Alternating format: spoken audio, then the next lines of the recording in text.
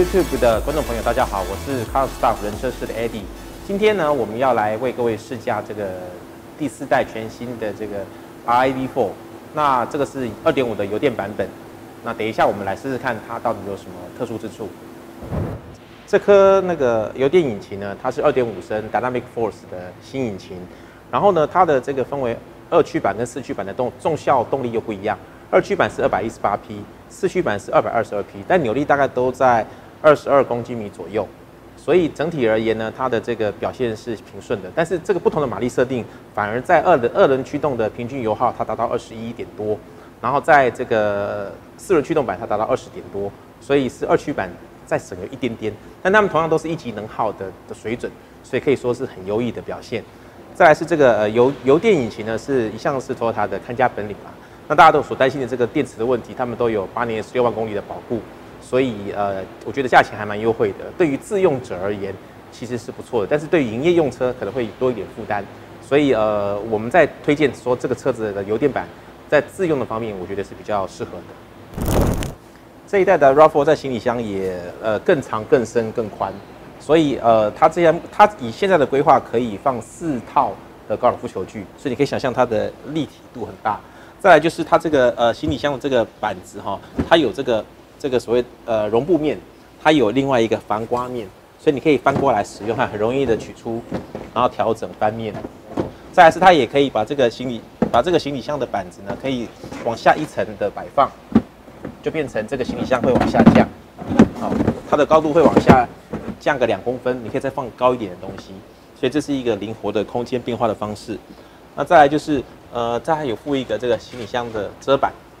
其实像遮板的目的，其实大家都不太知道。就是说，你外出旅游的时候呢，因为你的行李箱会放你的旅行用的物品或者你买来的东西，那这个时候这个就是挡住，让人家不知道里面放什么，不然人家看里面一排的购物袋，就容易敲破车窗，然后偷取这些财物。所以这个行李箱隔板就是为了这样子隐秘性而设计的。这一代的 RAV4，它它的其实座位也是非常的宽敞。我们看前座的椅背是一个一百七十一公分的驾驶，那它的它的驾驶姿势。那我是一百八十公分，那后座的膝部大概还有两个拳头的空间距离，所以算是相当的宽敞。再来就是它的其实内装饰本它都有做不同的材质变化，所以它会显得这一个呃内装的材质有高级感。所以这也是这个这一次在引进的时候，我觉得是设计感跟质感都有做向上调升的这一个改变。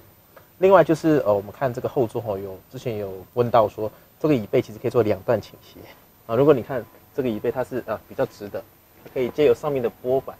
往后再倾斜一点。那一般我们不会做这么直啦，就是像我这样，就是呃就是就是一般的姿势。说除非说后面要载东西，它才会往前倾一点，好来来多载一点点的空间啊。再来就是呃这个中扶手哈，它的设计哈，这是比较平整的。上一代的中扶手它会有点往下，哦它没有一个支撑，它就它的水平面边往下会比较倾斜。那这一代就做的比较水平。也是一个呃呃比较好的小的质感上的调整，呃，这个椅面呢，呃，我觉得这个腿部支撑呢稍微弱了一点因为我比较高，所以这个腿部支撑稍微短了一点啊，这个是以身高论啦，肯定可能如果一百七十五以下，其实它就应该还好。那这个椅背椅背的这个泡棉跟坐垫的泡棉都算呃中度偏软一点，所以其实是比较舒适的，也是一个比较舒适的取向，但不会太软。所以呃，但是跟其他品牌比较硬调的方式又不太一样。那这就看个人的呃坐座椅的习惯。今天我们试驾的是这个 Toyota RAV4 的 Hybrid 版本，啊，当然我觉得这是目前我们在表单上看到还蛮算最划算的车型了，最应该是这个最优选的。我们先从车内的设计来讲，第一个这个是所谓的四 G 版的这个中控，好，我们来看一下，它这个这个是四 G 版本，然后它可以对应这个 Toyota 新的这个手机的。这个 Direct 这个 Connect 的版本，好啊，现在在开车就不要操作。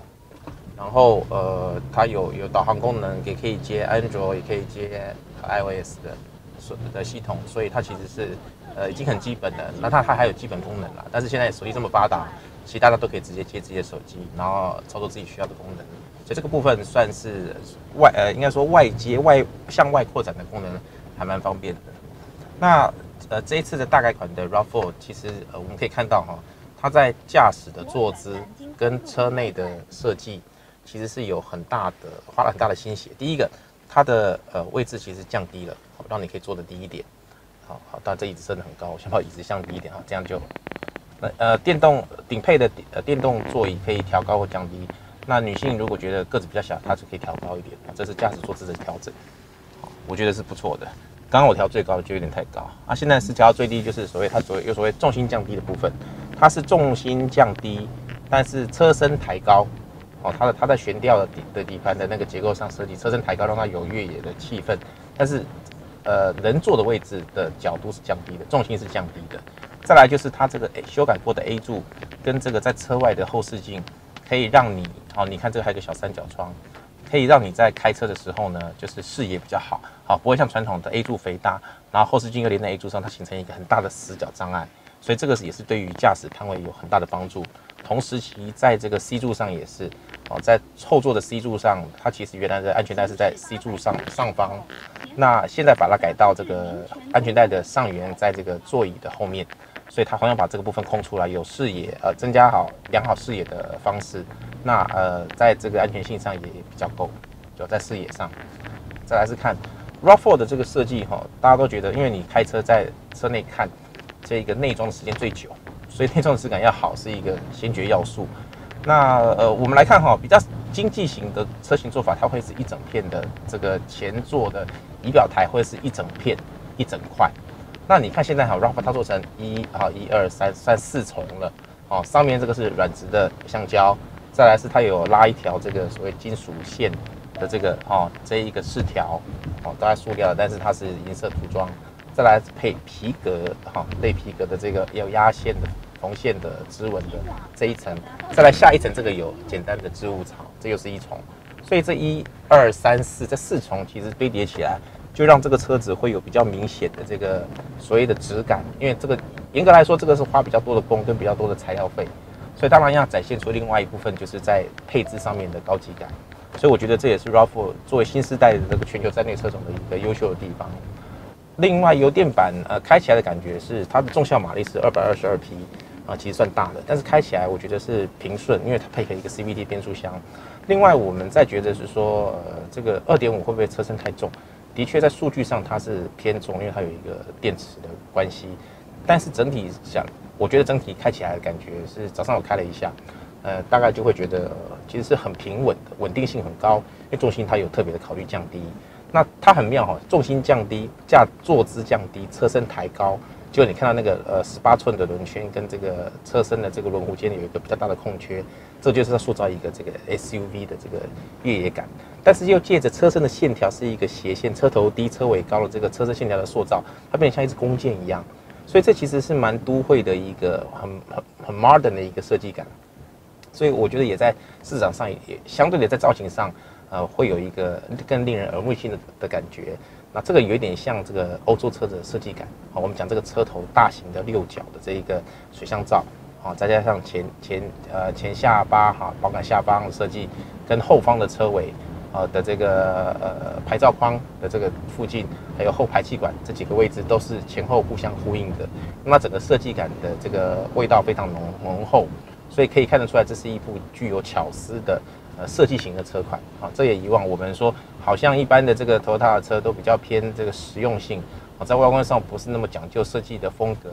的以往的形象也跟印象有很大的差别啊。另外就是我们有提到一个，就是它因为后面后座有装电池，但是它重新设计的这个电池的位置跟这一个油箱的位置，因为这是油电版嘛，它都尽量呃平平整化，所以这个车子在后座在摊平的时候，它也比较平整，比较不会有高起的现象。所以这个是空间利用上的一个改进。再来就是这个有纯电模式啊，可以操作。就是全电模式行驶，然后看它纯电多少。再来就是有 Eco Eco 模式，跟 Normal 模式，还有再来就是 Sports 模式。哦哦，这时候加速会比较力量会比较大。好，我们我们在一般的道路上其实不太不太需要了，但这个几个模式会有效的让你在需要动力输出的时候，作为啊不同的驾驶模式的调整。而且很意外的是，这个方向盘呢，哎，还蛮重手的。哦，以往你对头它的车就是，哎，方向盘很轻手，所以你开起来，呃，其实比较轻松。但是一方面会嫌这个好像路感比较差。但这一次这个所谓呃呃电子辅助的这个方向盘，它调整的反应力还比较大，需要你知道多一点力量输出。相对于我们是那个呃福特 Focus 的车型，四门车型，它方向盘就有点太轻，哦，就反而是一个大的对比，就是走欧洲系统的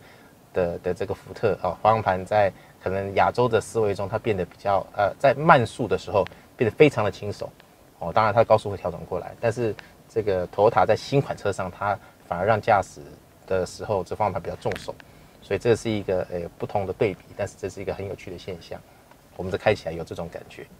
这一次的 RAV4 大概全车配备了标准的这个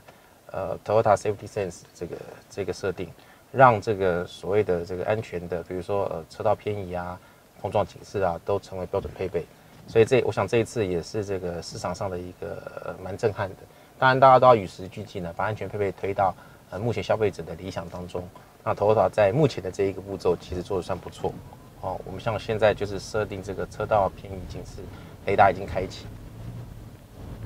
啊，只是目前没有限道，我们要开到前面有限道的地方让它侦测。呃，我们再讲一次啦，这些安全配备都是辅助的，因为目前的这个所谓的辅助辅助的形态呢，不是那么明确，呃，你必须多方尝试才知道它的辅助到什么程度，所以我们都建议说，呃，不要太依赖这类的安全配备，还是自己好好开车比较重要。那也记住，就是呃，通常问题都发生在呃注意力不集中、疲劳驾驶啊，目前是两个主因。这些提醒的配备本来就是要让你在不注意的时候、不专心的时候，它来做动，来提醒你。好，但是最基本安全的根本还是呃，开车要小心，要注意，要精神要装的在好的时候。